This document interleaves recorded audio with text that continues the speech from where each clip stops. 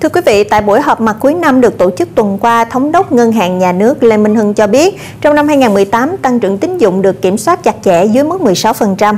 Lãnh đạo Ngân hàng Nhà nước cho biết trong năm 2018, chính sách tiền tệ được điều hành cẩn trọng, linh hoạt, phối hợp tốt với các chính sách tài khóa và các chính sách kinh tế vĩ mô khác.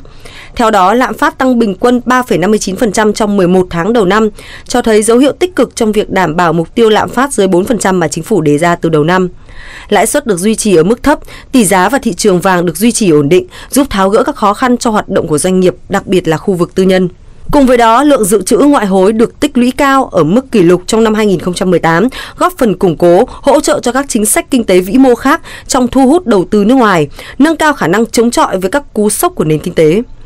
Bên cạnh việc duy trì ổn định vĩ mô, công tác tái cơ cấu hệ thống ngân hàng và xử lý nợ xấu cũng đã được triển khai tích cực.